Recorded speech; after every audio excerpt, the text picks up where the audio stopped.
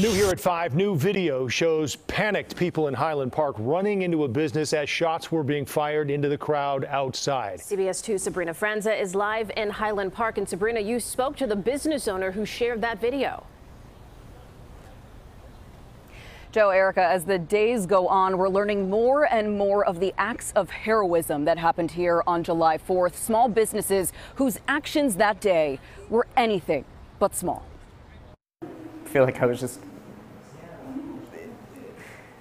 well well placed at a really awful time. A stream of strollers, panicked parents, shots fired just next door. Matt Phillips had his doors open. Images kind of start coming back, and you start remembering just sort of what you saw. Lynfred Winery just opened this tasting room a month ago, just next to the parade route. They were serving on Monday morning. It's An opportunity for us to engage with members of the community.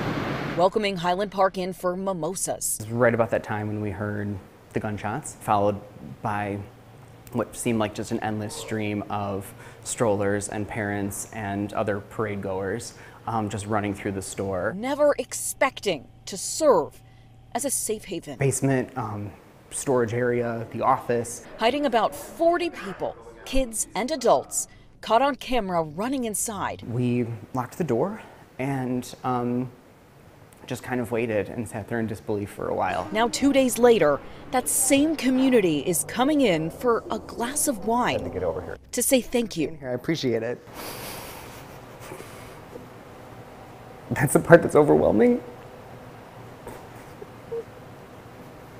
Because I, all I wanted to do was just get people in here and keep them safe. For comfort, for conversation, for community. There's some life after this that, that you know, we, we can look forward.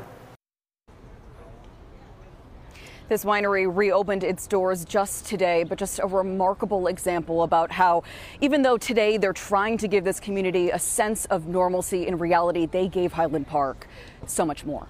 We're live in Highland Park. Sabrina Franza, CBS 2 News. Well, you learn so much more about the impact there, Sabrina, when you hear these firsthand accounts. Uh, a powerful story for sure. Thank you.